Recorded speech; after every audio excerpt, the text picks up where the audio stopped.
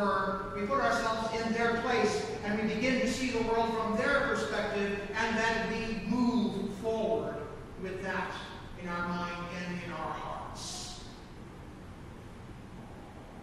Jesus is telling this story in this way because he's telling us that if we would be his disciples,